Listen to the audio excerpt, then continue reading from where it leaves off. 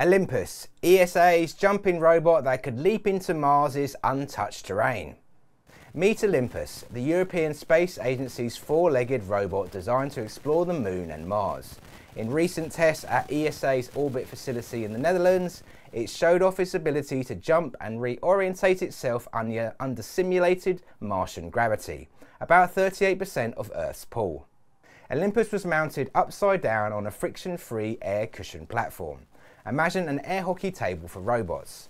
This allowed engineers to test its agility in conditions similar to those on Mars without the dust and danger.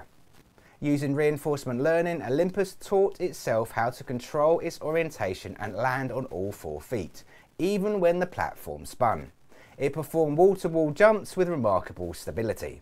Unlike wheeled rovers, Olympus can leap over obstacles and even venture into lava tubes or caverns, terrain that's off limits to most current robotic explorers. With agility, intelligence and a knack for keeping its balance, Olympus could one day help astronauts reach parts of Mars that have never been explored before, in just a few leaps. And that's your robot news update for today. If you're curious how robotics can transform your business, join me for my weekly live Robot Optimized workshop. It's packed with insights, trends and practical tips. Don't forget to subscribe to stay in the loop with the latest updates. I'm Robo Phil from Robot Philosophy. Thanks for watching and I'll see you next time.